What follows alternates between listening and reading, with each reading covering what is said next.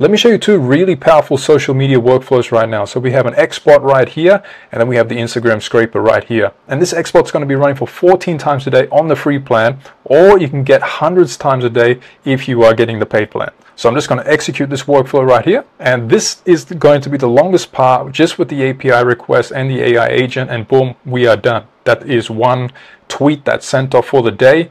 Beautiful. And right here, you can see all the data from X coming through, and then we have clean data on the right-hand side. That's then going through, and I'm just choosing one, which is going to be the latest one, okay? Because essentially, we want to be replying to that person as fast as humanly possible. So that's what we're doing right here with the AI agent.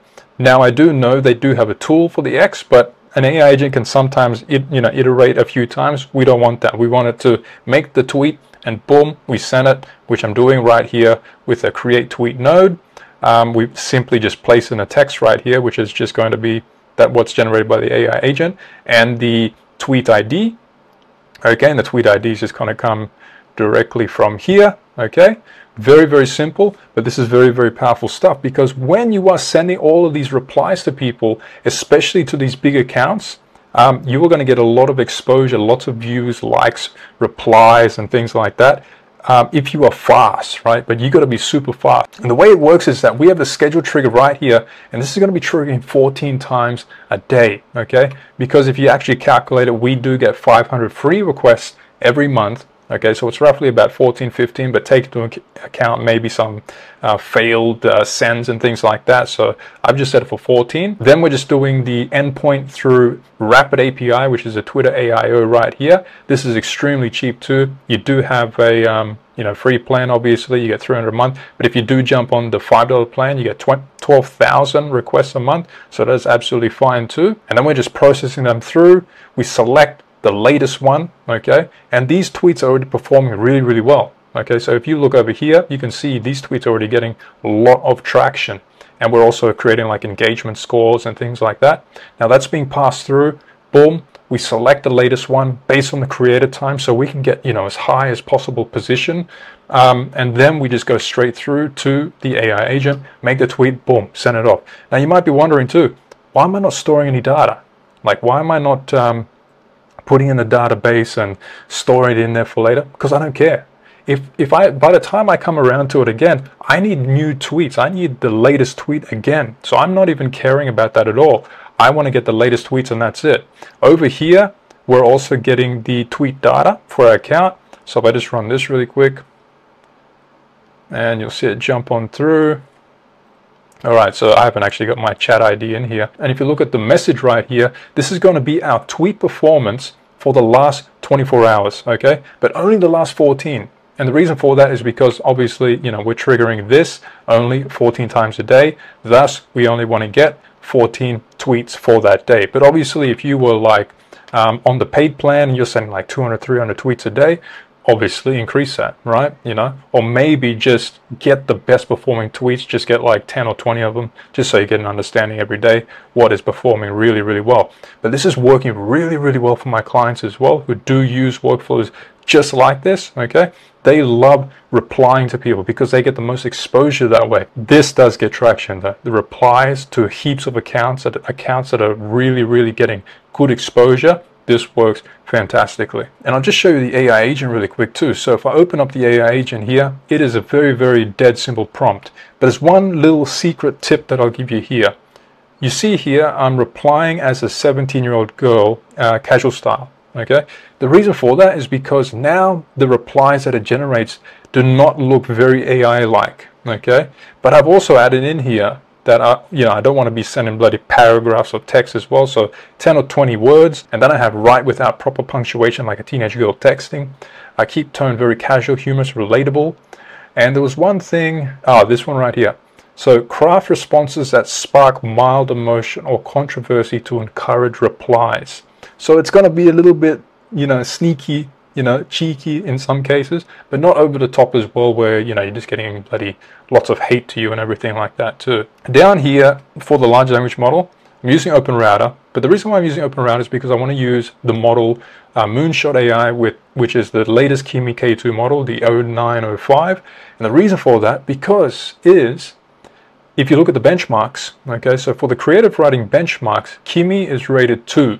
The thing is for Kimi though, the price is extremely cheap in comparison to like O3 in comparison.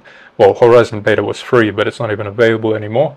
Um, Claude Opus 4, you know, that's like a $75 model. Then you got GPT-5 and thing. You know, this is like 95% cheaper than the rest, but it's scoring number two.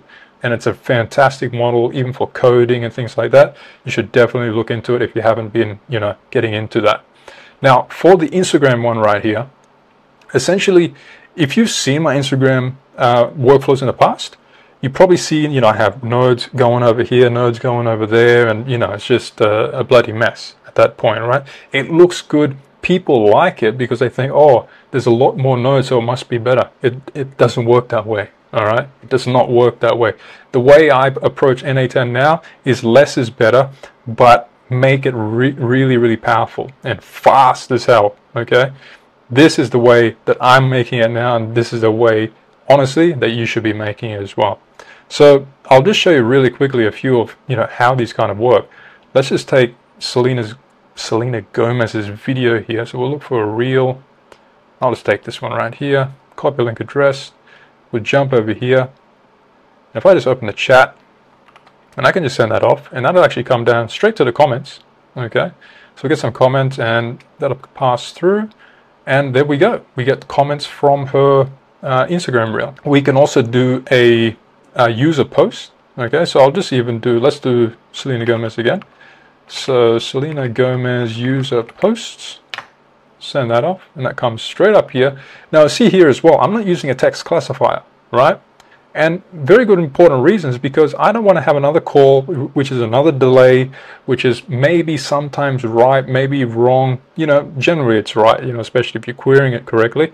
But that's more money that we're having to spend as well, and more latency because it now has to think and like you know actually output the answer before it goes out. Whereas this is like instant. And then jumping over here, we get all the information here just as per normal.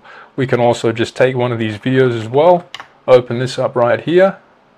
There we go. We do have reels from her, you know, account as well. Um, you can right click download that. I don't even know if I should be telling you that, but fair enough that's just how it works. And we can even search reels very, very quickly. So if I just put in funny search reels, that goes through this endpoint right here. Okay, so let that finish up. Boom. We get all that crap on the side here. There we go. Very, very simple. Um, but there is one little extra one here, which is going to be useful for, I suppose, lots and lots and lots of people who do want to be repurposing videos, finding their competitors, finding even more competitors that you don't even know about. Um, I'm just going to take that off really quick because this is actually going to do another request, which is really annoying. And that's to get more information, but I won't show you that for now. And let's just go with um, the AI Surfer competitors. I'm going to chuck that in there. And here we go. Boom. There we go. Okay. So the AI Surfer is just another person on Instagram. Okay.